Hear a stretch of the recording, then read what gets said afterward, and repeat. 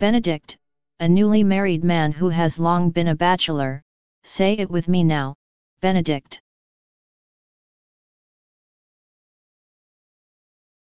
Please subscribe and thanks for watching.